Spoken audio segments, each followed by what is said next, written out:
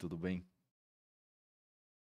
Bom, queria primeiro agradecer a presença de todo mundo. Quantas pessoas temos aí, Gilson? O Gilson tá no chat, tá, gente? Já temos 65 pessoas ligadinhas aqui conosco. Ah, da hora, 60. Boa. Então, gente, o, o objetivo da live aqui agora é falar um pouquinho sobre o programa de ampliação de jornada do EduTech, tá bom? Eu preparei um pequeno conjunto de slides para mostrar todo um histórico, que às vezes a gente fala tanto isso com os professores, com até outras pessoas, mas a gente. É... Eu fiz essa apresentação aqui para reforçar novamente todo o histórico que a gente tem e também mostrar alguns projetos super incríveis aí de alunos que fizeram um desafio com a gente no ano passado. É... Não sei nem se tem algum aluno aí, mas eu adoraria que tivesse. Não vejo a hora de começar a fazer live para aluno também, porque são muito divertidos.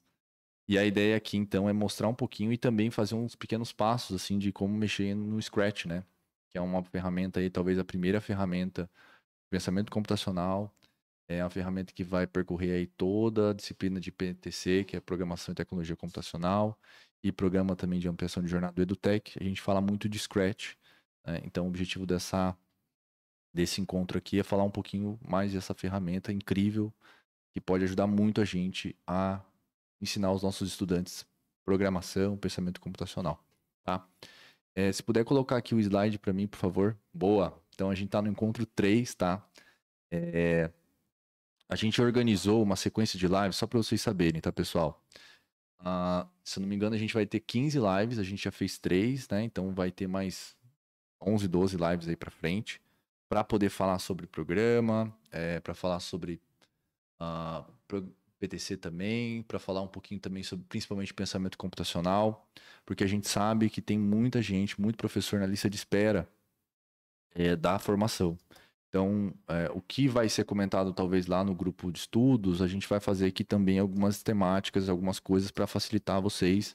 Então, caso vocês, professores, professoras, que estão na lista de espera, né, fiquem atentos aí nos links que a gente vai compartilhar de lives, que isso vai facilitar bastante para vocês, tá? Para conseguir conduzir os seus estudantes lá na frente, lá dentro da sala de aula. É, então acompanhe, tá bom? E você também que está fazendo a formação, sempre é um material extra, o professor formador, o professor cursista, a professora, né? Eles podem sempre assistir essas lives, a gente vai deixar sempre gravadas aí para vocês conseguirem assistir da melhor forma possível, no horário acessível também, vai estar tá sempre disponível aí para vocês. Falei com o Gilson, a gente vai tentar fazer uma playlist, né, Gilson? Com todas as lives juntas, né? E toda semana ia incrementando elas aí para conseguir colocar é, numa rotina, numa sequência bem legal para vocês, tá bom? Então, a gente está no terceiro encontro, né? Do programa do Tech. Ah, aqui sempre é, a gente vai falar um pouquinho sobre o programa, tá bom? Então, essas lives semanais aí que vão rolar. É, a gente vai falar sobre. É, aqui o programa, tanto o programa EduTech quanto programação também, tá? Então a gente. Essa palavrinha aí ela tem dois sentidos pra gente. Então, a gente vai falar sobre isso, bom?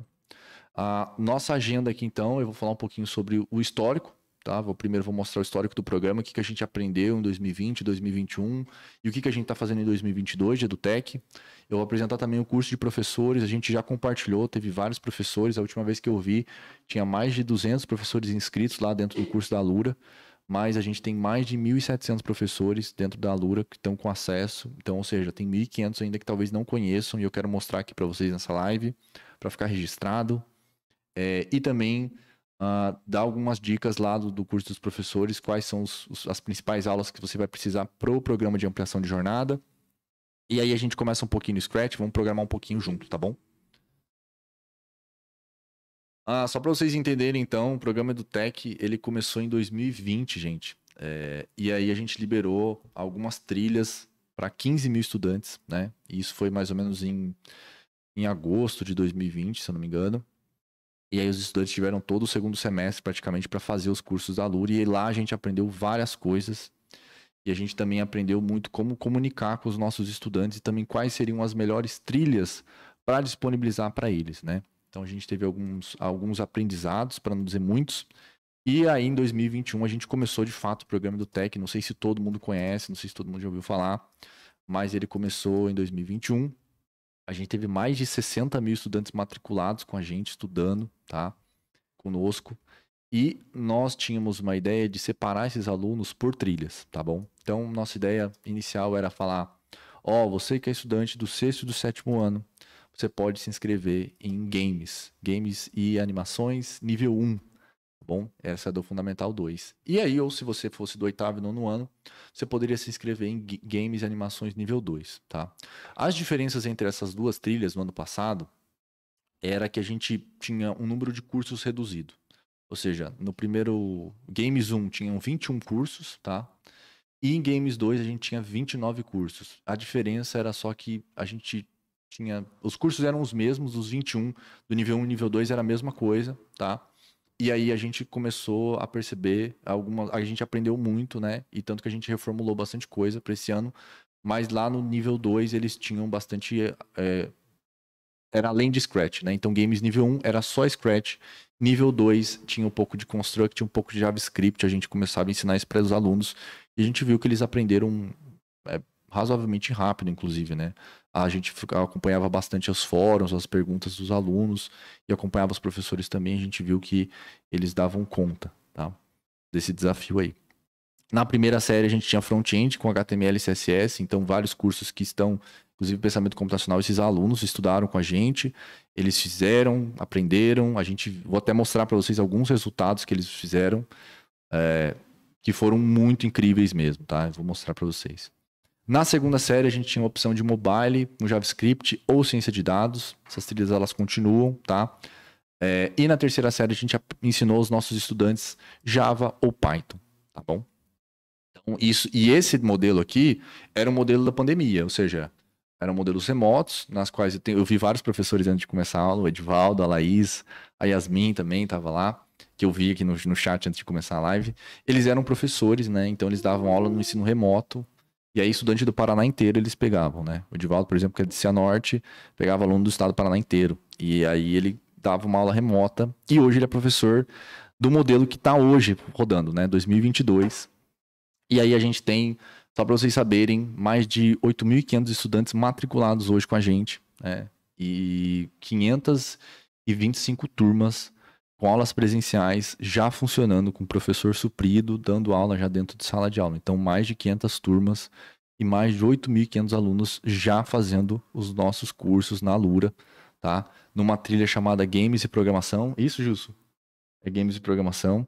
E aí a gente tem esse objetivo aí de ensinar os alunos a aprenderem os primeiros passos no mundo da programação. Tá? Desenvolvendo jogos, que eu acho que é um ambiente onde eles isso, mais isso. É... e mais aprendem. Beleza?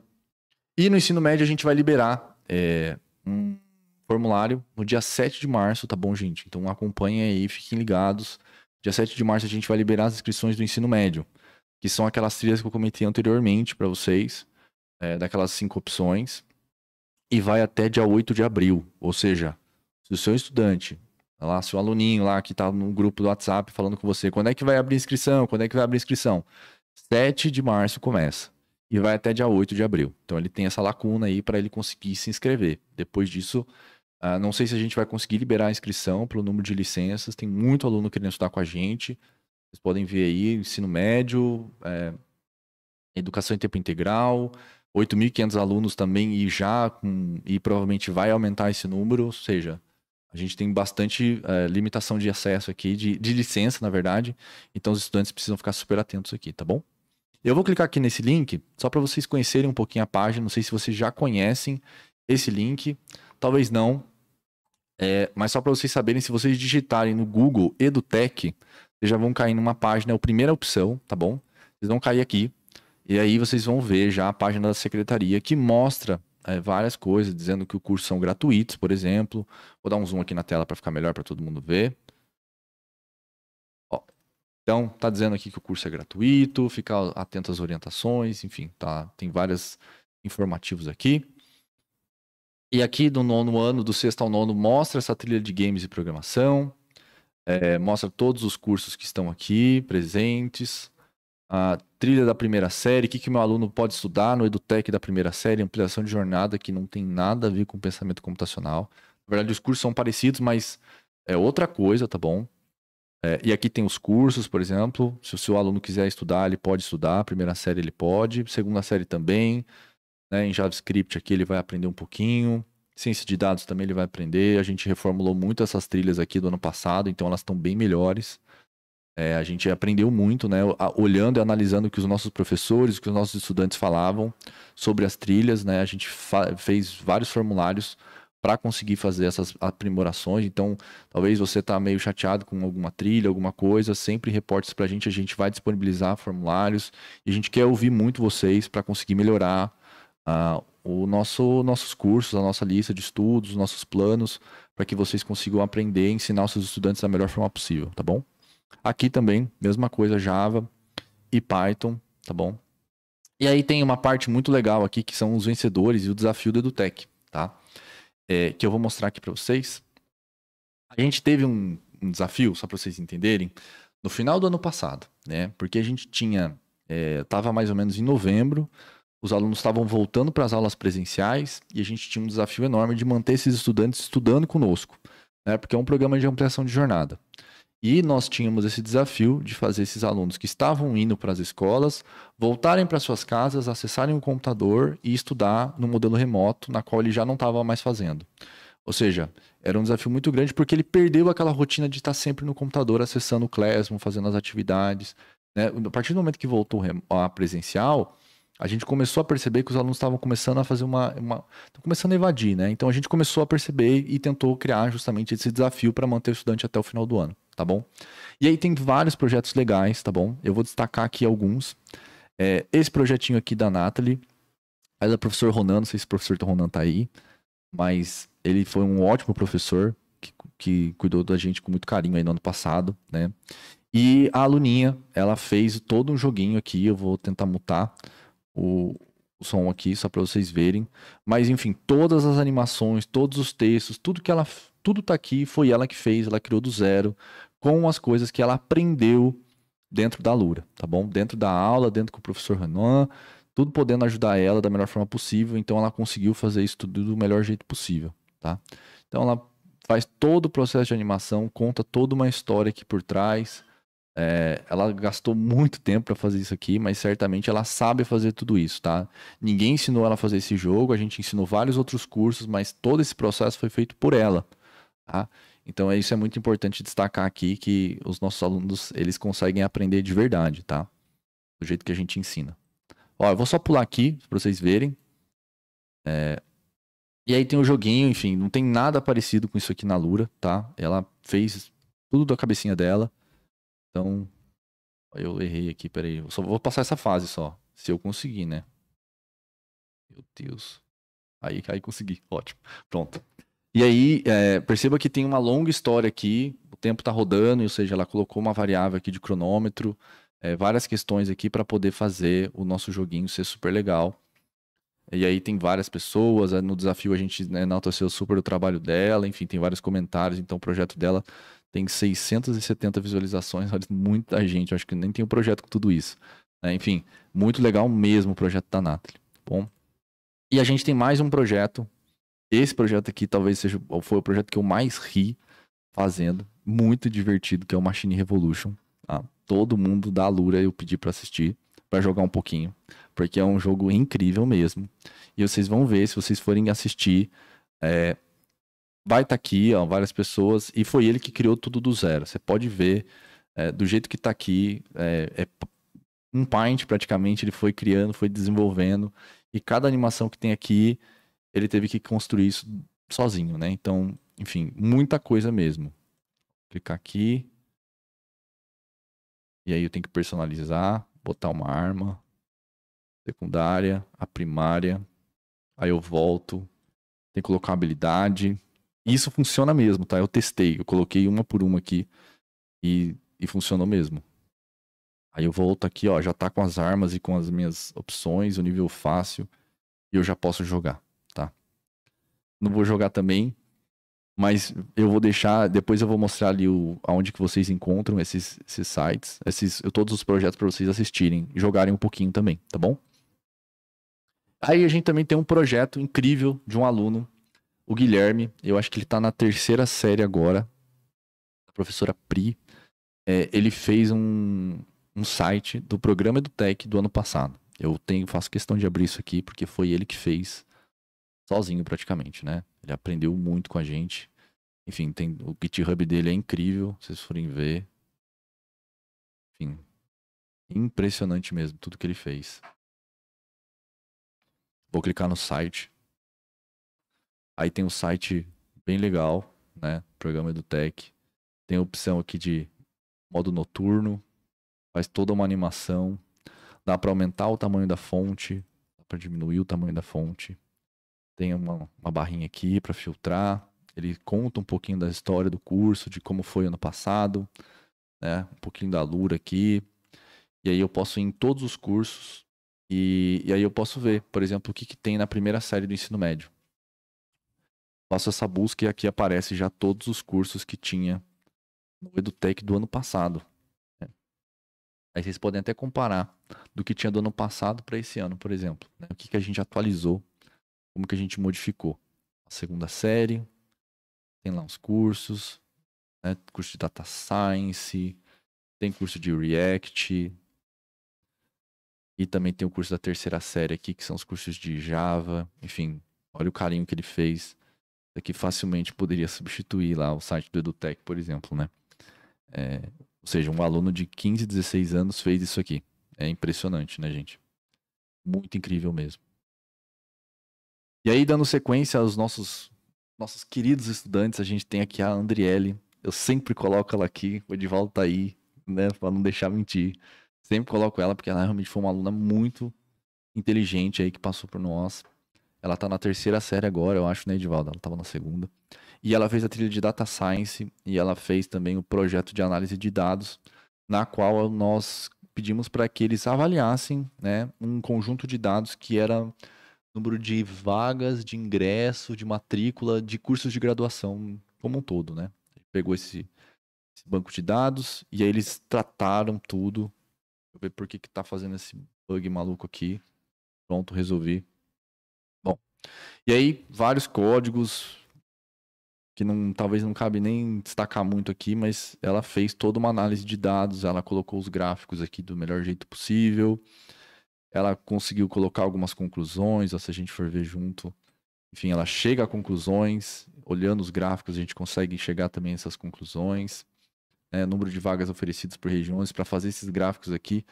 Inclusive, eu nem sabia fazer isso aqui, eu aprendi com ela aqui, vendo o códigozinho que ela fez, como é que deixava nessa cor aqui, nessa paleta de cores, porque do azul pro, pro rosa eu achei uma combinação bem legal. E aí, enfim, várias questões aqui. Crescimento do número de matrícula por região. Teve alguns dados para tratar também. Se você pega um conjunto de dados, vocês vão ver que vai ter um monte de, de dados com o not a number, né, que não é número. E aí ela trata isso também, ela entende porque a gente mostra isso nos cursos da Alura para deixar muito claro para os estudantes entenderem que os conjuntos, os dados que a gente pega muitas vezes não são a, a realidade, né? Então a gente precisa resolver, porque às vezes tem algumas lacunas lá que faltam.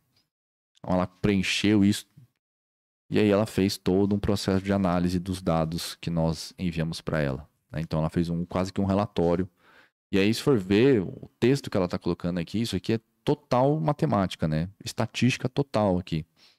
E ainda assim a gente pede para ela escrever um texto de conclusão, ou seja, a gente não está focado só em matemática. O estudante tem que aprender a escrever. Se vocês forem ver a concordância do texto dela, acento, vírgula, enfim, tá um texto muito bom. Colocou até nesse viés, olha só o nível do vocabulário dela, né? Uma, uma estudante de 15, 16 anos na época, né? Agora só um ano atrás. Mas enfim, incrível o trabalho que ela faz aqui. Então a gente precisa enaltecer, continuar destacando e mostrar que existe aluno no estado do Paraná que sabe fazer isso uh, e está no ensino médio ainda, né? Ou seja, incrível. E aí tem mais um projeto que é do Vitor. O Vitor, se não me engano, ele é de Ponta Grossa. Ele fez um sistema. É, como eu não estou no meu computador, não vou conseguir abrir esse sistema mas ele deixou lá no GitHub dele algumas fotos. E aí ele fez um sistema de cadastro de estudante, né, para conseguir organizar os, os aluninhos. Precisava instalar o Java aqui, eu não tenho esse Java instalado, então não vou conseguir abrir. Mas tem um processo aqui, ele explica como é que faz. Olha, esse projeto foi desenvolvido no desafio do Tech, tá aqui o link. Ele precisou usar um banco de dados que a gente disponibiliza cursos para isso. Né? Tem curso de Java, aí tem as funcionalidades do curso dele aqui cadastro de novo aluno, cadastro de professor, edição de informação, alteração de turno, enfim, CGM, tem várias coisas E aí tem um processo de login, por exemplo. Então essa aqui é a interface. Né? Caso você não tenha um cadastro, você pode se cadastrar. Eu, por exemplo, nunca tinha entrado no sistema dele, tive que clicar para me cadastrar. E aí tem o processo de cadastro. Ele construiu tudo isso aqui sozinho. Né? Tem como consultar os alunos por CGM. Dava para cadastrar aluno, editar aluno caso ele tenha escrito alguma coisa errado. Tem estatística também dos alunos ativos e inativos quantos alunos estão estudando, quantos alunos não estão mais estudando, registrar presença, presença uma, uma segunda tela, enfim. Ele fez tudo isso aqui com os nossos cursos e acho que merece muito esse destaque para ver. É, e, e, eu queria deixar muito claro que isso aqui aconteceu mesmo, gente. Isso aqui o estudante fez de verdade. Tá? Então, tem que deixar muito claro isso aqui, enaltecer o trabalho deles e dos professores também, fizeram um trabalho incrível aí para conseguir orientar esses estudantes e talvez das dificuldades que, que vocês estão sentindo agora, é, ano passado a gente também teve a mesma dificuldade, só que olha só o resultado final, né? É incrível ver o tanto que eles evoluíram, quanto eles amadureceram, quanto eles aprenderam, né? E eles construíram isso sozinhos, né? Com a ajuda dos seus professores, mas nada disso está parecido dentro da Lura. Então eles tiveram que, de fato, usar a criatividade deles, usar a imaginação para conseguir fazer. Bom? É, e agora eu quero, dito já todo o histórico... Marcelo? Oi. Chegaram algumas perguntas aqui no chat. Boa. É, o, o, alguns professores perguntam da oferta do programa para o ensino médio. Então, para o ensino médio, uhum. o curso vai ser totalmente online. Os alunos entrarão no site, que está fixado aqui nos comentários, realizam a sua inscrição e receberão um e-mail da Lura que, o, que a matrícula foi efetivada, aí o aluno fará o curso é, sozinho, é, escolhe o melhor período para fazer esses cursos, então não vai ter professor atendendo esses alunos, somente a plataforma Lura dará esse suporte. Então o aluno entra no site e se inscreve e fará os seus cursos conforme a sua ano, ano série lá de matrícula. Boa. Mais alguma pergunta, Gilson? Elogio. Só elogios? Ótimo. Ai, gente, obrigado. Continua elogiando aí. Que eu... Aproveitando aqui, tem muitos professores aqui comentando que os projetos desenvolvidos pelos alunos tá nível de ensino superior Super, aí. cara. Tem muito. muito, muito melhor que muitos projetos de TCC também, de pra faculdade caramba, aí. Cara. Então... Tem uns que eu não sei fazer não. Esse de Java aqui eu não sei fazer não, cara. Ele tinha que fazer uma live aqui, sentar aqui e ensinar todo mundo, porque eu não... É mesmo, isso aqui é impressionante mesmo. O do Gui lá também, o site dele, esse site aqui de React aqui com o Next, na verdade, cara, também não sei fazer não. Ele aprendeu incrível. Tem até uma opção aqui de conseguir se conectar com a conta Google. Ó. E aí eu coloquei meu, meu arroba aqui, escola, meu arroba Lura, quer dizer, né? E aí entrou perfeitamente, sim, perfeito. O trabalho desses alunos aí realmente são incríveis, tá? E nada melhor do que um estudante mostrar pra gente o que a gente pode fazer, né? Então, é, pensando em todos os problemas que nós tivemos no ano passado, é, para conseguir nivelar os professores, para começar as aulas, no ano passado a gente teve quase que uma semana de, é, de semana de planejamento, né? E lá a gente conseguiu orientar os professores com várias, vários encontros e foram encontros bastante extensos, porque foi uma semana, cinco dias mais ou menos, de encontros aí de pelo menos umas três horas, né? E e a gente conseguiu fazer isso e conseguir nivelar todos os professores. Mas no ano passado a gente tinha um número muito menor do que a gente tem hoje de professor. Né? Hoje a gente tem mais de 1.700 professores fazendo pensamento computacional, PTC e ampliação de jornada, que é o programa do TEC. Então, pensando nisso, nós já estávamos desde o ano passado criando esse curso aqui de formação básica de professor para ajudar vocês. Né? Então, se você não conhece esse curso, por favor, assista, tá bom? Uh, tá o link aqui embaixo. É, Gilson, se eu vou deixar depois a gente coloca na descrição. Mas caso você tenha dificuldade, professor, lá no teu plano de estudos vai ter uma formação chamada formação de professor. E lá vai ter esse curso, tá bom? Eu posso entrar até, até entrar aqui para vocês verem. E aí, ah, como é que, para que serve esse curso, né? O que, que a gente montou dele? A gente tem uma aula de pensamento computacional da educação básica, na qual Joyce faz uma boa contextualização ali de BNCC, pensamento computacional, ela traz vários pontos aí que professores gostam bastante de, de, de, de levantar, né? Então a gente se preocupou bastante com isso, criamos um, um, uma aula, né? Se não me engano, tem quatro vídeos falando disso. E aí a gente também fez um curso, um conjunto de vídeos, né? Uma aula de Scratch 3 para educador, é, na qual vai ser um conteúdo que eu vou passar aqui nos, na, depois dessas apresentações. Vai ter também uma aula de GitHub para professores, né?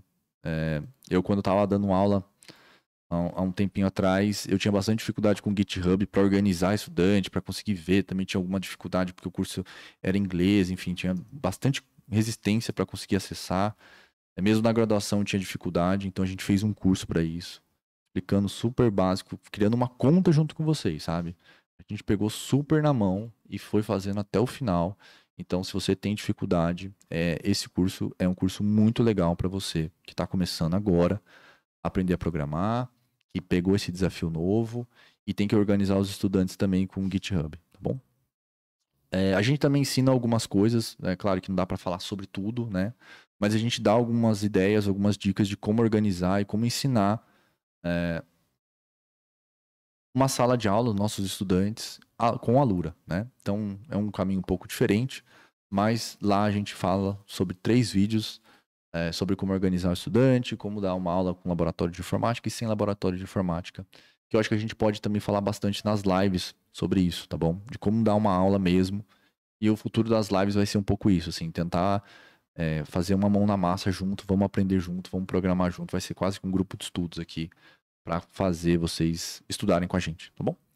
E no final, a gente, como é que avalia esses estudantes, esses projetos, né? Enfim, o aluno estuda, faz, pratica, é, entrega as atividades, mas como é que a gente dá nota? Como é que a gente consegue avaliar isso? Enfim, tem esse desafio, né?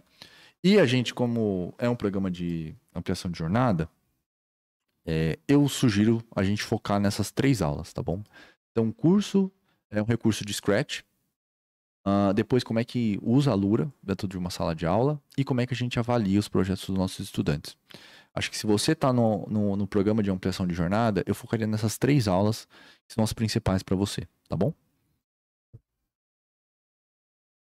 Lembrando, pessoal, lá na, no curso eu falo um pouquinho sobre a conta de educador, mas é, uma coisa que eu preciso deixar muito claro, que lá na hora de vocês fazerem o registro lá, pedir essa solicitação de conta, que é um caminho um pouco diferente do que a, talvez a própria Lura nos cursos, é, falando de Scratch lá nas, nas, aulas, por exemplo, do Pong ou em outras aulas, uh, o, o, instrutor ele já cria uma conta, né?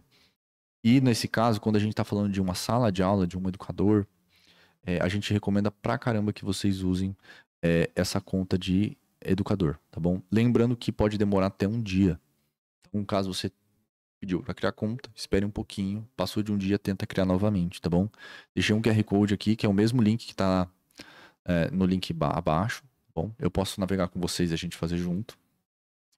E agora é uma hora da gente começar a programar, tá bom? E aí, o meu objetivo aqui agora é pegar, entrar no Scratch e a gente começar a fazer os nossos primeiros códigos juntos. É, de programa EduTech, que também pode ser utilizado para Pong, e pode ser utilizado também para programação e tecnologia computacional, enfim. É, o Scratch, pelo menos para o nosso começo aqui de ano letivo, é uma ferramenta que nós usamos para as três, para os três componentes, né? Então, é, essa live aqui vai começar a ser para todo mundo. Beleza? Então, vou abrir o Scratch aqui. É, ó, vou até pegar, deixa eu fechar aqui um monte de coisa, para a gente não se perder. Ó, esse é o curso de formação básica, acho que eu não esqueci de mostrar para vocês. Ó, tem 222 professores aí, alunos que estão estudando com a gente, que estão fazendo os cursos. Muito legal, mas ainda precisa de mais gente, né? Lembra que eu falei lá que tinha mais de 1.700, então a gente precisa continuar divulgando isso daqui. Tá bom? Pode ser uma ótima ferramenta para você, para te auxiliar aí nos seus estudos e no, na organização dos seus estudantes. Então, vamos lá, gente. É, caso você tenha alguma dificuldade com a é, com a criação da conta do professor, vocês vão entrar no site do Scratch, tá? Que eu acho que todo mundo sabe, mas caso você não conheça, digita Scratch no Google, vai ser a primeira ou a segunda opção, tá bom? E para criar conta de educador, vocês não vão por essa opção de entrar aqui em cima. Dá um zoom aqui, ó. A gente não vai por aqui, tá? Eu entrar. Nós vamos lá no rodapé da página, ou seja, lá embaixo, ó, vou descer tudo. E existe uma opção aqui, ó, para educadores, tá bom? Lá no canto é, esquerdo para educadores. E aqui eu vou clicar e aí vai ter uma opção, não tem nada aqui ainda mais. Mais para baixo, lá no rodapé de novo, quase no rodapé vai ter pedir conta. E aqui que está exatamente para o QR Code que estava direcionado lá é, para vocês criarem a sua conta. Então, caso vocês tenham dificuldade ainda de lembrar, para educadores, lá na página inicial do Scratch, no canto inferior esquerdo, tem lá, e aí embaixo também novamente. Quase que no final da página, um pouquinho em cima do rodapé, tem a opção pedir conta também, tá bom? Eu vou logar na minha conta aqui, para a gente começar os nossos primeiros códigos. E aí, boa, começou. Então, ó, loguei. Bom, já começa um pouquinho diferente, né? Se vocês entrarem, criarem uma conta pelo método convencional, né? Vocês vão ver que já não vai ter essa divisão aqui em roxo, né? Que vai mostrar minhas turmas, recurso do educador. Enfim, não tem isso. É, então, é muito legal vocês criarem a conta de educador. Mas, Marcelo, eu já fiz isso. Já meus estudantes já têm conta. Já tá todo mundo cadastrado. O que, que eu faço agora? Não se preocupem, tá? Vocês, você que é professor de pensamento computacional, é, eu não sei se você de fato precisa voltar toda a disciplina, tá? Mas de EduTech e de PTC, né, que é do ETI, eu acho muito importante a gente fazer o recadastro dos nossos estudantes. E aí, como é que faz esse recadastro, Marcelo? Lá na aula 2 aqui, ó, do curso de formação de professor, aula 2, eu faço esse caminho inteiro com vocês, juntos. Mostro todas as partes, todas as etapas, como que faz, todas as opções, tá bom? A gente faz isso e vocês saem com a turma cadastrada bonitinho, tá bom? Lembrando também, se vocês tiverem dúvidas, vocês podem acessar o fórum aqui, ó. Aqui embaixo. Cadê o fórum? Aqui, o fórum. Ó, tem a opção do fórum aqui. Então, é, usem o fórum, tá bom? Eu vou estar tá respondendo vocês lá, vou tentar responder. É, para ajudar todo mundo a ter essa conta de professor, beleza? Então, fiz a conta de professor, vou mostrar até um resultado aqui das minhas turmas, ó. Clico no perfil, minhas turmas, tem lá várias turmas que eu já comecei. Tem turma encerrada, por exemplo, se eu quero encerrar a conta. Tem alerta também, ou seja, aluno que fez alguma coisa que não podia. Né? O Scratch tem moderação. Também fica aqui um indicativo, ó, por exemplo, aqui ó, tem um indicativo. Ou seja, algum aluno fez alguma coisa que não podia. Aqui também. Enfim, você fica sabendo de tudo, tá? Então o Scratch é um super aliado para fazer o acompanhamento e a gestão também dos nossos estudantes. Beleza? Agora vamos começar a programar. Toda vez, quando eu for começar a programar, eu vou clicar nesse botão criar, tá bom? Mas Marcelo, tá, vou, vou clicar, beleza. Vamos clicar aqui. E aí vai aparecer várias opções, um monte de coisa que parece até um pouco confuso pra gente, porque é muita informação. Né? E o meu texto está em inglês, ó. Então, como é que eu faço? Vou mudar aqui, ó. Então, clicar aqui e vou português brasileiro. Isso aqui a gente já fez na live passada, né? E agora, vamos pensar é, que o nosso código, é, ele precisa ser salvo, né? Porque o estudante fez na semana passada e ele nessa outra semana ele tem que acessar o código. Marcelo? Oi. É, acho que fica legal da, da, diferenciar aqui a situação, a situação de acesso à plataforma Lura e o acesso ao Scratch, né? Que são duas plataformas distintas. Acho que fica legal explicar isso, porque acho que está gerando uma certa dúvida aqui entre a Lura e Scratch, que são duas plataformas diferentes, né? Como... Isso, tá. Boa. Ó, então toda vez quando eu for. É... Se eu sou estudante, eu vou me colocar no lugar do estudante, gente. Eu tenho que estar com uma aba da Lura, tá? Então tá aqui a aba da Lura. Ó, vou até clicar aqui no curso 3 aqui que eu preciso estar tá fazendo. E aí eu vou fazer o curso e acompanhando, mas a aba do Scratch também tem que estar tá do lado. Não tem jeito, tá bom? Então o aluno vai assistir um pedaço do vídeo e vai tentar implementar. Vai assistir uma outra parte e vai tentar implementar. Ou ele pode ir programando à medida com que o, instrutor for falando. Né? Ele pode ir copiando e tentando entender. Ou ele pode também entender qual é a lógica e tentar aplicar isso e aí pense que o, é, a Lura é quase que o gabarito, né? Então você, professor, é, você vai fazer uma questão e já entregar o gabarito? Talvez não. Então você precisa estimular o seu estudante a fazer o desafio e à medida com que ele for progredindo, se ele tiver alguma dificuldade mesmo, a gente mostra a Lura, tá bom? Então é uma opção aí para você começar as, as suas aulas é dizer que existe a Lura, é dizer que ele, lá ali tem todas as, a, as respostas, né? Mas não é assim que a gente vai ensinar o nosso aluno, né? Só copiar e colar. Ele precisa, de fato, é, se estimular, tá bom? Então a gente vai focar aqui bastante no Scratch agora, para que eles comecem a se estimular aqui no, no, no, mundo da programação e tentar desenvolver os primeiros algoritmos dele. Então, sempre, a Lura de um lado, Scratch do outro, tá bom? Lembrando que acabou minha aula, eu preciso deslogar da minha conta da Lura e eu preciso também deslogar minha conta do Scratch. Então tem a opção de sair aqui. É importantíssimo você, professor, deixar pelo menos uns 5 minutinhos antes da aula aqui. Se estamos falando de Scratch, ele salva automaticamente. É, GitHub já é uma outra coisa, mas isso é um assunto para uma outra live. É, só sair da conta aqui tá tudo certo, tá bom? Então, por exemplo, eu vou fazer aqui, ó, Live 3 EduTech. Então, coloquei um título aqui na minha, no meu, meu jogo e a gente vai fazer uma animação juntos aqui, tá bom? Então, vamos lá. É, primeira coisa que eu posso perceber é que existe alguns blocos no lado esquerdo. Então tem lá movimento, posso clicar aqui, aparência. E os blocos eles estão sendo alterados, né? Então eventos, controle, sensores, operadores, variáveis e meus blocos. Ó, meu bloco não tem nada ainda, né? E aqui também não tem nada de variável, também não tem nada de lista. Se eu clicar mais para baixo aqui na opção é, azul, Existem algumas outras opções para conseguir fazer coisas de robótica, microbit, Lego, enfim, caneta, detecção de vídeo, mas não é o foco aqui agora, mas saiba que isso existe, tá bom? E do outro lado, a gente tem os nossos atores, no caso só tem um ator, e eu tenho um palco também, tá bom? Então, por exemplo, eu posso escolher um ator diferente, então eu posso pegar um ator, por exemplo, que a Lura tá falando, ó, oh, você vai usar esse ator aqui eu posso pegar esse ator, baixar e pedir para enviar. Se eu clicar aqui, vai abrir uma pasta minha, eu posso selecionar o ator e ele vai ser escolhido. Eu posso pedir para vir um surpresa, ou seja, ele vai pegar um aleatório. Eu posso desenhar, que é uma ferramenta que eu gosto de usar bastante com meus alunos, tá bom? E eu também posso selecionar um ator, tá bom? E aqui posso selecionar um ator também, ó, tem a mesma opção. Então se eu clicar aqui vai aparecer a mesma do que na lupa, tá? E aqui já existe um conjunto que é da própria biblioteca do Scratch, que vai me falando é, várias opções. Se eu colocar o mouse por cima, vocês vão ver que vai piscar, ou seja, existe mais de um ator dentro desse ator. Na verdade, existe mais de uma fantasia dentro desse ator, tá bom? Tem alguns que não, tem alguns que sim. Se a gente for passar o mouse, a gente vai ver. Tem alguns que tem um, dois, tem outros que tem vários, tá?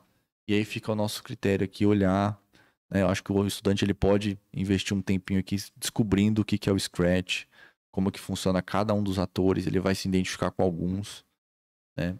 Para começar os primeiros jogos, os primeiros algoritmos dele. Então eu vou escolher. Marcelo? Oi.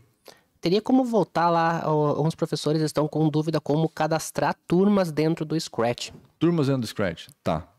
É, posso fazer isso depois? Eu vou fazer isso depois, tá bom? Para não perder aqui, senão foge muito foco, tá bom, gente? E aí, ó, só para vocês saberem, tem várias opções aqui para escolher. Eu posso escolher um surpresa, por exemplo, adiciona um ator aleatório que está lá na biblioteca, tá? E eu posso escolher um cenário também. Mesmas opções, carregar um cenário, surpresa, pintar, enfim, mesmas coisinhas, né? Posso selecionar um ator, um cenário aqui. E aí tem vários. Eu gosto de usar muito esses daqui, de plano cartesiano no começo, nas primeiras semanas de aula, para mostrar para o meu aluno algumas coisas. Por exemplo, né? Eu vou pegar esse ator aqui, eu vou dar uma mexida nele, tá bom? Porque o Scratch me fornece essas opções, ó. De costume, de fantasia, eu tenho duas no gatinho. Tá? Eu posso quase que fazer ele andar, tá bom? Posso trazer essa animação. Mas eu também posso desmembrar ele. Ó, eu posso pegar a cabeça, o corpo, enfim, eu posso pegar várias coisas aqui fazer o que eu quiser com ele. Tá? Não gostei, o que, que eu faço? Eu posso clicar nessa setinha e voltar tudo para a posição original. Então, meu aluno fez alguma coisa que não devia, pode clicar nessa setinha que está aqui, tá bom? Posso copiar ele e colar, ou seja, eu dupliquei, não gostei, apago, tá? Quero inverter ele de posição, ó, eu inverto. Vou deletar esse aqui para ficar só com Vou selecionar ele inteiro. Ó, mudo de posição. Ponta cabeça, posso fazer também. Tá? Então, Fica ao meu critério e eu posso fazer o que eu quiser. Eu posso desagrupar mais ainda. Perceba que eu só estou tirando a cabeça dele. Mas eu quero tirar o olho, Marcelo. Como é que faz? Eu posso clicar aqui, desagrupar. E aí eu posso pegar o olho. Vou dar um zoom aqui, ó. Ah, Marcelo, mas eu quero pintar a cor da bolinha aqui, tá dentro. Tá bom, desagrupo de novo. Eu pego a bolinha, ó. Então, eu posso desagrupar até quanto eu quiser, tá bom? Até não ter mais nenhuma opção, ó. Não gostei. Volta tudo. Voltamos tudo. Não tem problema nenhum, tá? E agora, cadê meu desenho? Eu posso clicar aqui, ó, nos, no igual, ele dá um, uma organizada, posso dar um zoom aqui de novo e vou voltando até ficar do jeito que estava antes, tá bom? Eu, para mostrar o plano cartesiano aqui, ó, só o meu gatinho vai ser um pouco difícil. Então eu vou simplesmente tirar tudo que tem do gatinho. Então eu vou desagrupar aqui, ó. Desagrupar, vou pegar só o nariz do gatinho, vou deletar o resto. Ó, posso clicar em apagar. Ó, nariz do meu gatinho aqui, ó, centraliza objetos. Muito importante isso, gente. Sempre centralize o objeto, tá bom? Sempre. Se eu quero é, que meu ator vá para o lado esquerdo, por exemplo, lado de, calma, esquerdo ou direito, não é aqui que eu vou fazer com o ator. Ó. Se eu quero que vá para esquerda, eu vou colocar ele assim e tá tudo certo. Não. Nem para baixo, não vai ser isso que eu vou fazer. O que, que eu vou colocar? Eu vou centralizar ele sempre. Lá. Aqui. Vai, pronto. E coloco bem no centro, ó. E aí, meu objeto vai estar tá lá no 00. Boa, ótimo. E aí eu posso começar a desenvolver meu algoritmo. Por exemplo, se eu pedir para ele se mover, ó, ele está andando 10 passos. Mas 10 passos significa para a direita? Não. 10 passos significa que ele vai andar para a direção na qual o meu ator está apontado. O que, que significa isso? Significa, por exemplo, que ele está apontado para a direção 90 graus. Ou seja, se eu apertar para ele mover 10 passos, vai mover na posição, na direção 90 graus. Se eu colocar 180 graus, menos 200, 270 ou menos 90, tá aqui, ó. 90. E mover, ó, ele tá voltando. Ou seja, não é o 10 passos que vai fazer andar para esquerda para direita, e sim o mova 10 passos. Ou e sim a direção, desculpa. Tá? Mas Marcelo, não quero me preocupar com a direção. Tem como eu não, tanto faz a direção dele, eu quero que ele ande para direita e ponto, acabou. Sim, você pode usando a coordenada x. Perceba que, ó, vou dar um zoom. Se eu for olhar para o lado esquerdo, ó, tem um número menos 240. Ou seja, o limite máximo da esquerda. Limite máximo da direita é 240. Ou seja, esse número ele tem que aumentar. Então, toda vez que eu estou no zero aqui, e eu quero que ele adicione 10 a x, ele vai andar para direita. E não importa a direção que eu estou colocando. Eu posso colocar a direção qualquer uma, vou colocar qualquer uma. Ó, ele vai continuar andando para a direita. E o mova passos, o que, que ele ia fazer? Ó, ele já ia começar a andar na diagonal. Ó. Então aí eu já ia ter um problema, tá? Ó, se eu colocar, ele sempre vai andar para direita e só direita, tá bom? Marcelo, e agora? Como é que eu retorno esse ator? Existem alguns blocos aqui que podem nos auxiliar. Por exemplo, esse bloco vá para, ele pode me ajudar. Então, 0, 0. Eu clico em cima dele, ele vai lá para o centro de novo. Tudo que eu não quero é ficar criando um monte de bloco solto assim e começar a desenvolver meu código, né? Isso não é programação. A gente só está conhecendo os comandos ainda. Então, por exemplo, eu quero colocar um evento. Então, toda vez que eu apertar na bandeira, ele vai voltar para essa coordenada zero. Então, cliquei aqui, clico na bandeira e ele vai executar um, comando, um conjunto de códigos. Esses códigos eles podem ser pequenos, do jeito que está aqui, dois só, ou eles podem ser vários. E aí, de fato, um algoritmo, né? Então imagina, por exemplo, que eu quero que esse ator ele vá até 240 é, de uma vez só. Né? Então posso pedir aqui, ó, 00 vá até 240. E ele vai todo canto. Mas perceba que ele simplesmente pulou, ó. E nem parece que ele voltou, mas ele voltou. Ó, porque se eu clicar aqui, ele volta. Mas se eu adicionar esse bloco, ele pula. Né? Existe algum jeito de eu fazer isso ser mais suave? Existe. E aí a gente começa de fato a usar lógica de programação. E aí a gente começa a trabalhar com algumas questões de laço de repetição, de algoritmo, né, para conseguir entender. Então, por exemplo, para o meu aluno entender que, por exemplo, vai para 240, existem vários jeitos diferentes de fazer isso acontecer. Né? Então, ele pode fazer de um jeito aqui, né? ou ele pode fazer de um jeito um pouco mais suave, que é, por exemplo, repita 10 vezes 240x. Perceba que eu estou pedindo para é, adicionar 240, 240, 240 várias vezes, ou seja, 2.400 a x, porque é um, é um produto, né? 240 vezes 10. Mas eu posso simplificar isso, ou seja, 240 dividido por 10 é 24. Então, 24 vezes 10 é 240, e aí a gente vai ver o resultado. Ó. Ele fez esse caminho um pouco mais sutil. Então, ele vai pulando de 24 a 24 e vai andando, ó. E ele não simplesmente faz. Pulou. Não faz mais isso. Beleza? Eu posso pedir para ele voltar também. Como é que eu faço isso? Eu preciso arrastar os bloquinhos de novo? Não, você não precisa arrastar os bloquinhos de novo. Eu posso clicar aqui, ó, bem nesse bloco, botão direito, duplicar. Ó. E aí, ó, ele já pegou um bloquinho para mim. Ah, Marcelo, eu não sei fazer isso ainda, eu tô aprendendo. Tem problema eu arrastar o bloquinho de novo? Nenhum problema, você pode fazer isso. Tá? Mas é mais prático a gente fazer desse jeito, ó. Então, ele vai e volta, ó. Foi e voltou. Foi e voltou. Foi e voltou. E se a gente for começar a ver, por exemplo, no ping-pong, ele faz umas coisas meio parecidas com isso, né? De ir e voltar, ir e voltar? Então perceba que os nossos códigos, eles começam a criar vida. O que, que o meu aluno vai fazer, Marcelo, aqui então, numa, numa aula, por exemplo, de na primeira aula de regra de três? É, a gente pode explicar o que é regra de três e a gente vai fazendo com que o nosso estudante chegue a conclusões matemáticas de questão de algoritmo para criar essa solução. Né?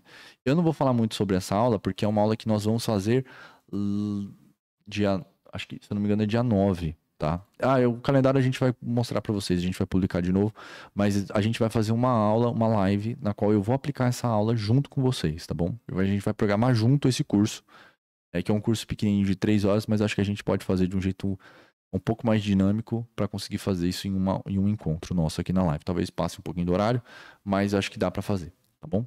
Então perceba que o nosso, nosso jogo aqui, ele está indo e voltando, né? Mas Marcelo, isso aqui está muito chato ainda. Eu posso pedir para adicionar coordenadas diferentes? Pode, não tem problema. Posso adicionar 10x aqui. E aí eu posso ir arrastando, ir testando e vendo o que está acontecendo. Eu acho que o estudante vai fazer muito isso. Porque ele é uma ferramenta muito visual. E aí, enfim, a gente pode começar a entender o que as coisas estão acontecendo tá bom? Perceba que na hora que eu adicionei 10 a y aqui, ó, vou até deletar esse bloco, ó. Posso clicar aqui, clico nele, aperto delete, ele some, ó, adiciono, ele vai subir e vai voltar. Ou seja, já começou a fazer coisas que eu nem estava consumindo mais. Ou seja, eu estava com a ideia de andar só para a direita, ele começou a andar para a esquerda do nada. Isso porque os nossos algoritmos estão fazendo isso por nós. Tá? Então, por exemplo, ó, ele está indo e não está voltando. Por quê? Está faltando um bloco para voltar. Então, ó, Perceba que agora, é, ao invés de andar para esquerda e direita, ele só está andando para cima e para baixo. Isso porque nós estamos usando a coordenada y, tá bom? É importante vocês pensarem nisso. Tá, Marcelo, mas e esses blocos de mova passos aqui? Tem como fazer do mesmo jeito? Tem. Como é que nós fazemos? Por exemplo, se eu quero andar para cima e para baixo com o ator, esse algoritmo que está aqui, ó, vou tirar ele e vou fazer do mesmo jeito aqui do lado. Ó. Então, eu vou colocar esse bloco, vou colocar um repita, Vou adicionar 10 passos. E vou pedir para duplicar menos 10 passos. Se a gente fizer isso acontecer, ele vai fazer uma direção que nem queria, né? Então, se eu colocar assim, ó. Aí ele vai funcionar, porque está na direção zero. Então eu deveria colocar aqui, ó. Apontar para a direção zero. Ó, dá um zoom. Esse algoritmo que está rodando aqui, se a gente for comparar com esse, é a mesma coisa. Ó.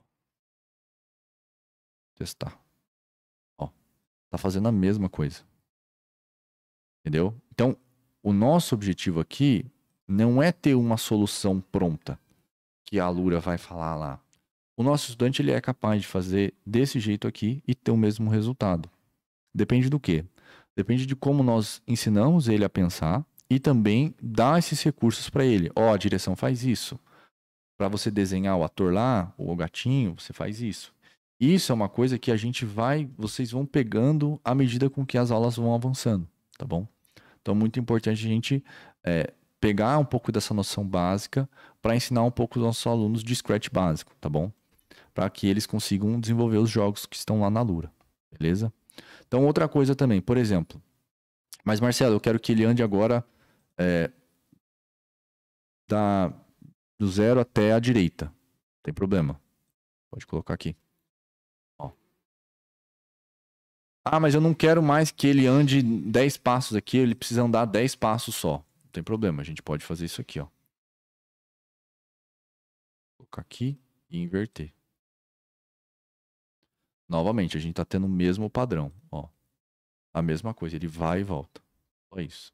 Vai e volta. Mas ele não tá indo até o final, não tem problema. Eu posso adicionar aqui 24 vezes. 24 vezes. Tudo certo. Ah, mas eu quero que ele ande mais lento. Tá bom? Então a gente pode adicionar aqui 48 vezes e pedir para adicionar 5 passos. Ó. E ele vai andar mais devagar e vai voltar super rápido. Por que, que ele voltou super rápido? Porque nós não adicionamos aqui. Ó. Ele foi lento e voltou lento. O resultado é o mesmo, gente. Ele foi para um lado e voltou. Existem milhares de jeitos diferentes de fazer isso acontecer, né? E conforme a gente, se eu for ficar aqui com vocês, vão ver que eu vou fazer isso um milhão de vezes, tá bom? Então, o que, que eu quero que vocês tentem fazer? Quero que vocês tentem explorar um pouco também a Lura, né? Enfim, o nosso, a nossa bolinha lá, ela funciona de um jeito. A nossa regra de três funciona de um jeito o nosso robogênio ele está funcionando de um jeito na qual um instrutor pediu. Né? Mas será que nós somos capazes de construir o algoritmo um pouquinho diferente? Certamente que sim. Tá? O que, que vai acontecer? É, por exemplo, imagina que eu acabei minha aula e eu quero que o meu estudante guarde esse projeto. Marcelo, você vai guardar esse projeto aqui agora e você precisa mandar lá aonde tem que ser mandado, né? no estúdio de vocês, por exemplo. Uh, tem uma opção aqui de salvar agora. E ele, se eu, se eu, ficar conversando com vocês aqui, ele vai salvar automaticamente. Mas eu posso clicar aqui também. Tá? Caso não tenha nada escrito, é porque já está salvo. Ah, Marcelo, mas eu não tenho certeza. Que nem agora, sumiu. Eu não tenho certeza. Eu quero colocar isso aqui de novo. O que, que eu faço? Eu posso arrastar qualquer bloco que apareça essa opção aqui de novo. Posso excluir e posso clicar para salvar agora.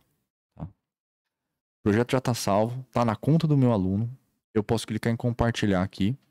Como também eu não preciso compartilhar. Se eu sou um aluno e estou fazendo ainda, e você nem pediu esse resultado ainda para o aluno, aonde ele vai achar isso? Ele vai achar na pastinha.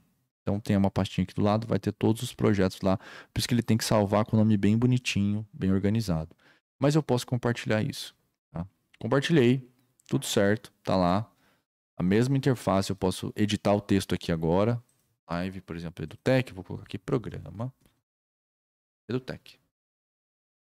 Existem algumas instruções, alguns créditos que eu posso adicionar no momento que eu quiser. Eu posso adicionar o estúdio aqui. Então tem os estúdios aqui. Mas, Marcelo, eu não cadastrei o meu aluno nessa turma. Né? O que, que eu faço? Eu posso copiar o link, né? Copio esse link aqui, ó. E aí eu posso enviar no estúdio do meu professor. Você, como professor, você pode mandar o estúdio para ele. Né? Então, por exemplo, você está lá, você vai nas minhas turmas aqui, você que é educador, você tem lá é, a opção de criar uma nova turma, por exemplo. Vou criar uma nova turma, tá? Live. Programa EduTech. Posso fazer algumas anotações. Live do dia 21 2.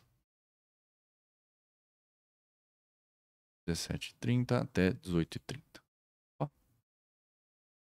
Adiciona a turma. Beleza. Posso adicionar meu estudante aqui. Caso meu estudante não tenha conta ainda, posso criar essas contas. Aonde eu faço isso? Como é que eu aprendo a fazer isso? Curso de formação de professor. Lá tem um vídeo, cadastro de estudantes. Ó. Você pode assistir esse vídeo aqui e aprender a fazer esse upload. No estúdio, não tem nenhum estúdio ainda. Eu posso colocar aqui um estúdio da live, por exemplo. Crio.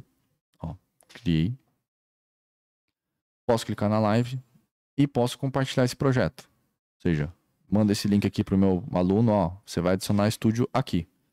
Vou clicar, qualquer um pode adicionar o projeto, copio, colo o link, adiciono o URL e tá lá, ó. Live 3, programa EduTech, tá lá no estúdio bonitinho, sem nenhum problema, tá? Gente, o que eu queria falar, acho que era isso. Na verdade, eu queria bem mais coisa. Tudo bem, Gilson? Boa. É, Gilson, vou deixar esses cinco minutinhos para tirar dúvida. É, e aí, conforme a galera vai pedindo, a gente pode ir melhorando aí. Então tem duas situações ali, Marcelo. Boa. Aquela uma que eu havia comentado a respeito do. Eu quero, quero água. E pode, pode focar em mim daí a tela. Compartilhamento. Que é como fazer. inserir os alunos nas turmas do Scratch. Ah, isso tá no curso do, do professor, cara. Senão vai demorar muito. Acho melhor assistir o vídeo.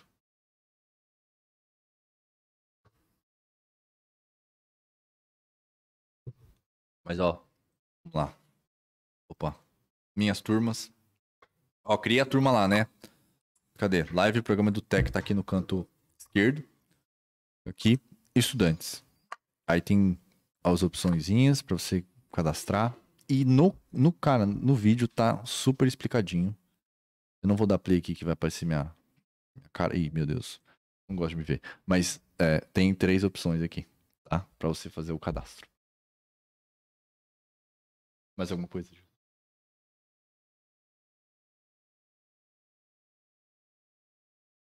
Tem algumas perguntas, mas o pessoal já foram respondendo. Um, um Ah, professor legal. for responder Ai, ao, bom, ao outro ali. Então, tem bastante professor auxiliando ali na criação de conta no Scratch e, e mais algumas coisas relacionadas à programação mesmo. Tá.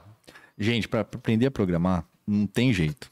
É, Tem que estudar, tem que tentar, tem que errar bastante. E usa muito o nosso fórum lá, tá? A dica que eu dou na hora de vocês forem postar coisas no fórum. Meu projeto não tá funcionando. Gente, pelo amor de Deus, vocês precisam compartilhar o projeto e mandar lá no fórum o link do projeto, tá? Mande o link no projeto. Pode voltar aqui a tela em mim, só pra gente ir no, no curso aqui. Ó, vocês podem compartilhar o projeto, ó, o vídeo anterior. Tem aqui uma opção de compartilhar, tá? Compartilhe o projeto. E aí vai ter o link aqui em cima. Vocês podem até copiar o link aqui, ó. Copiar link. Ó, no canto direito, no meio aqui, ó. Quase embaixo, né?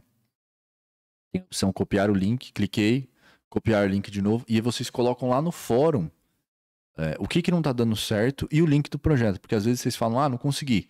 Mas eu não consigo ver esse programa do Scratch. Daí eu não consigo te ajudar, entendeu? Então, vamos tentar colocar na hora que der algum bug lá no seu código, coloca o link do projeto, tá bom? Mais alguma coisa? E o pessoal per- perguntando bastante quando inicia o programa. Então, o programa EduTech, é, ampliação de jornada para os alunos de ensino fundamental já iniciou, as atividades já estão em Já andamento. 8.500 alunos inscritos. Isso. Então, os alunos de ensino fundamental, procure a sua escola lá e verifica se esta oferta o programa, né, de games e programação e efetua a sua matrícula. Para alunos de ensino médio, as inscrições iniciam a partir de 7 de março. Então, entra no site do programa, o comentário está fixado aqui, entra no site do programa e faz a sua inscrição. Então, a janela de abertura de inscrição é durante um mês, de 7 de março até 8 de abril. Isso. Ó, se eu digitar EduTech aqui, gente, vai ter lá. Segundo link, ó. E aí vai ter uma, uma seção aqui de de inscrição, né? Ó, inscrição de alunos, curso de programação. Se eu clicar, é, vai falar que eu não tenho arroba escola, mas já vai estar fechado. Vai dizer assim, ó, inscrição abre no dia 7, tá? Então, aonde eu vou me inscrever? Aqui. No site da, do EduTech, digita no Google lá EduTech, vocês vão descer um pouquinho e vai ter lá a opção inscrição para alunos do curso de programação com o arroba escola. Aí vai liberar o formulário, vocês podem se inscrever, tá bom? Quem pode fazer isso? Estudantes do ensino médio, da primeira até a terceira série. Ah, mas o meu aluno é de pensamento computacional, ele não tem acesso à Lura ainda, ele vai se inscrever? Não, você não vai se inscrever. As únicas pessoas que vão se inscrever são aqueles que desejam é, fazer os planos de, de estudos que estão aqui, ó. Então, não tem nada a ver com pensamento computacional, ó. Se a gente for ler, é, são outros nomes, tá? E ele pode estudar Novamente, maneira gratuita, ele vai ter acesso a todos os cursos. Você que é professor tem acesso a tudo isso aqui antecipado. Então você consegue ver e já orientar o seu estudante. Ó, oh, você quer? Escreve lá. Não é só para o novo ensino médio que pode, todo mundo pode, tá? Do sexto, Fundamental 2 até a terceira série. Mais alguma coisa, Gilson? O pessoal está perguntando aqui do link da formação dos professores da Lura. Nós vamos deixar aqui na descrição do vídeo para facilitar a, a, a, localização por parte de vocês também. E tem uma pergunta aqui do, do Mariel que pergunta se as atividades do Scratch contabilizam no desenvolvimento do curso da Lura. Tá, professor, não contabiliza, tá? É, é uma parte do processo de aprendizado dele. Ele vai fazer os cursos, os vídeos, os exercícios, lá vai contar o progresso dentro da Lura. Mas saiu da Lura, foi pro Scratch, por exemplo, para praticar o que ele aprendeu na Lura, aí não conta, tá bom? É, imagina que é um, material didático lá, que você tem que preencher uma, lista de exercício que está dentro do, do teu material. É, e tem o teu caderno também, né? Então, é, são duas coisas diferentes, o caderno do material didático. É, são coisas. É a, mesma, é a mesma analogia que eu faço, tá bom? Mais alguma coisa, Justo? É, são, tem bastante perguntas aqui sobre o curso, né? Então, o curso está aberto para alunos de ensino fundamental, alunos de ensino médio e também para professores e agentes educacionais da escola. Então, a única exigência é que esses tenham arroba escola. Então, toda a inscrição deve ser feita usando o seu arroba escola. As atividades do ensino médio são de forma online, então não tem nenhuma atividade do programa EduTech, ampliação de jornada, né, que fica bem claro aqui, é toda totalmente online. Então, os alunos de ensino médio não serão matriculados como ampliação de jornada. Aqui o professor Sérgio pergunta de escolas que não ofertam o programa do TEC. Então, as escolas que não ofertam, o aluno que deseja pode procurar uma escola é, vizinha, que é aonde oferta. Então, o aluno, na escola do aluno não oferta, mas a escola perto dele oferta, esse aluno pode sim ser matriculado em outra escola que não a sua do ensino regular. Isso. Boa. Mais alguma coisa? Passou dois minutos do horário. Acho que é isso, né, gente? Galera, eu queria muito é, fazer um jogo com vocês, programar um super código aqui, a gente desenvolver juntos. Mas é, muito dos, dos, conteúdos que eu posso passar para vocês, é, eu pensando na hora de produzir essas lives, eu via que é, tinha muita coisa já dentro da Lura que tá tudo pronto, né? Então não faz o sentido eu fazer uma live. Então a live é dar os primeiros passos, é, propor algumas atividades, algumas dinâmicas, construir código juntos, talvez alguma coisa que a Lura é, não explicou lá no curso, é, a gente faz aqui na, na live, enfim. É, a gente tenta fazer essas orientações aqui, tá bom? Lembre-se também que tem formação, é, conteúdos da formação a gente vai fazer de um jeito também um pouco diferente, para as lives não ser a mesma coisa.